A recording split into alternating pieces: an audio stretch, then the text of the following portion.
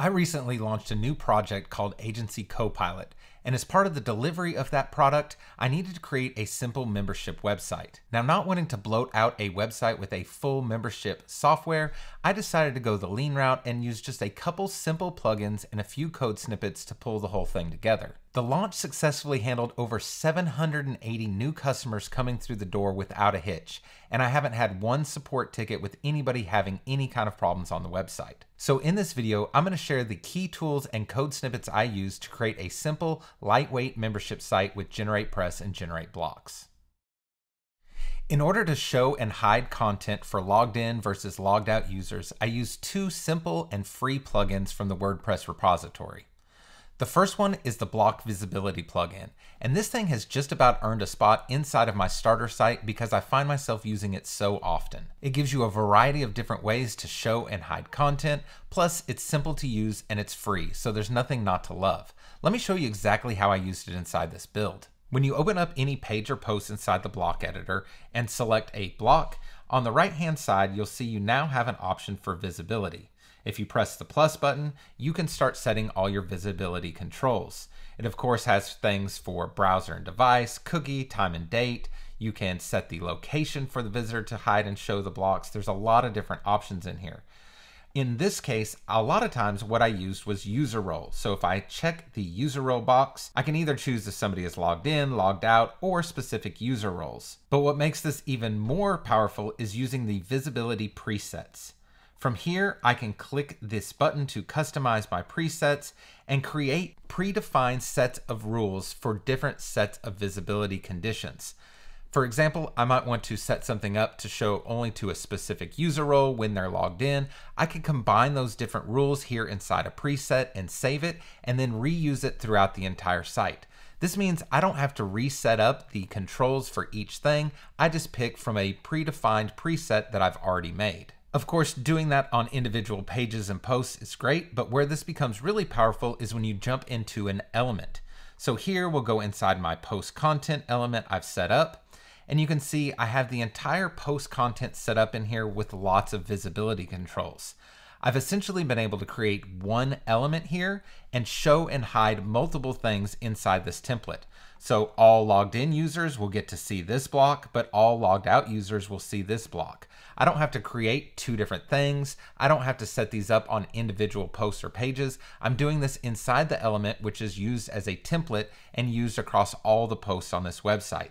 That means you can have one element and your visibility presets set up to be able to control lots of different situations. In fact, this is not only controlling the logged in and logged out, it's also controlling things for the different user roles or if they're viewing free content that I've put on the site. Block Visibility is a super powerful plugin, but unfortunately it's only going to work when you're selecting blocks. The other thing I needed to control here was items inside my primary navigation menu. To do that, I used another simple plugin that's free inside the WordPress repo. It's called If Menu. Although it doesn't look like this plugin has been updated in a while, in my experience it works flawlessly. Once you install and activate the plugin, you can just navigate to your Appearance, Menus, and open up your primary navigation menu. Now, when you open up any of these dropdowns, you have this new checkbox for Enable Visibility Rules. When you click that, you get the option to show or hide items based on a number of conditions. So we have things like user roles inside of here, if they're logged in or logged out, if they're from specific countries, or which page on your site it is. Now this doesn't look like a very huge list of options, but the fact that you can combine these with showing and hiding actually gives you a ton of control. I was able to set up things like hiding the logged in button for logged in users and hiding the buy now button for people who have already purchased this, all through this simple and free plugin, which makes the user experience on this site a whole lot better. Now, I haven't done a whole lot of membership sites, so I didn't realize that WordPress actually added the logged in class to the body of any page when the user is logged in. And you can actually tap into that to do some creative things. So let me show you how I used it on this site.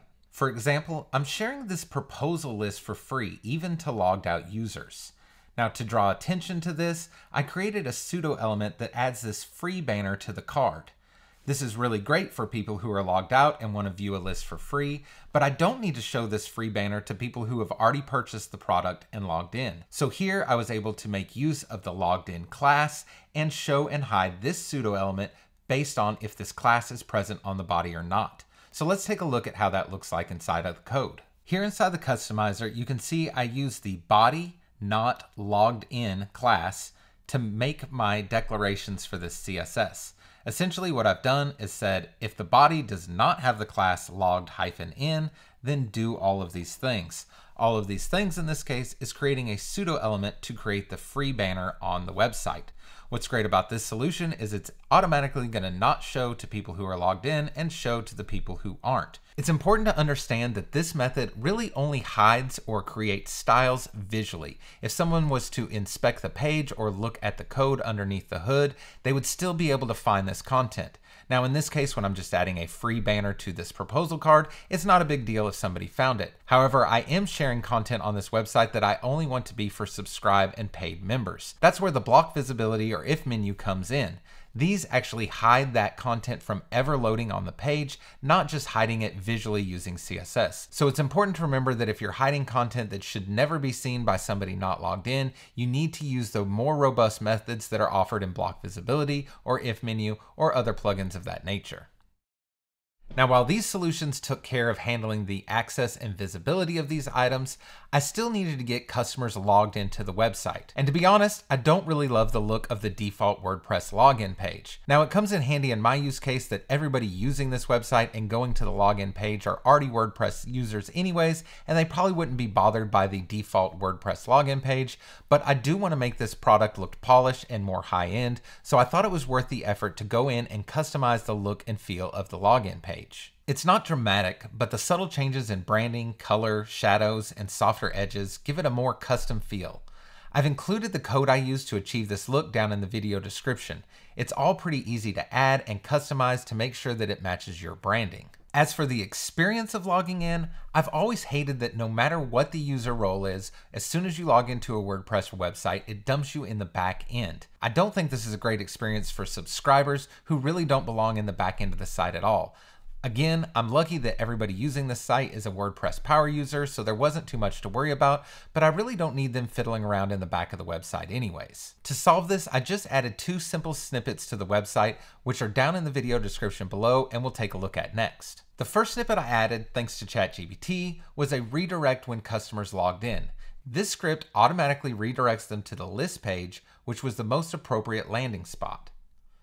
The second snippet I added disabled the backend access completely. And even though my customers wouldn't be dumped into the backend when they log in, the admin bar across the top of the website invites them to do it. The second snip solves both of those problems by removing the admin bar for non-administrator user roles and redirects the visitors to the homepage if they try to visit any of the backend URLs. Now for my particular use case, I had two sets of users that I needed to get registered on the website. The first set of users were people that bought during the pre-sale period before this website ever existed. I was going to have to import those users in. The second set of users were going to be people that purchased through this website after the product was launched. So I needed to solve both of those problems of getting those users registered. To import all the pre-sale customers, I actually used the WP All Import plugin, which absolutely worked flawlessly. Unfortunately, this is a paid product, but you can get lifetime access to both the import and export options that includes the ability to import users for $299. To carry out the export, I logged into my Thrivecart account and exported all my pre-sale customers as CSV.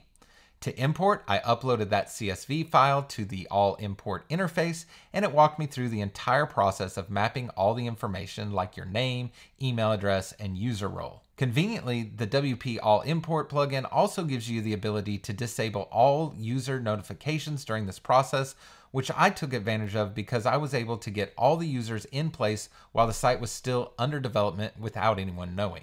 Now that took care of all the pre-sale customers, but once I launched this site, I was actually going to be using a third-party cart system, Thrivecart in my case, and I needed to get those Thrivecart customers registered inside of WordPress.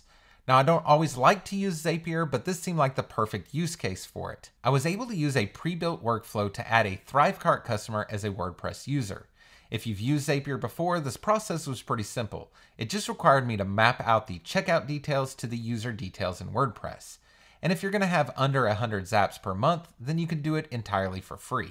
Now using the process I shared in this video, if you didn't have to import all the customers like I did through WP All Import, Everything else I shared inside this video was totally free. And honestly, it's really simple to manage too. I was afraid of bloating out my site with a bunch of unnecessary features that I was never going to use, but the benefit of this solution is it's all really lightweight solutions that make it easy to get all this up and running on your site. Doing a membership site was a lot less intimidating than I thought it was, and I learned a lot of new tricks that I'm sure I'm going to take into new projects going forward. If you're interested in checking out the final product, you can see this website at copilot.theadminbar.com. If you got anything out of this video, make sure to hit the thumbs up, and if you want to make sure you catch any future videos, go ahead and hit subscribe, and we'll see you again next week.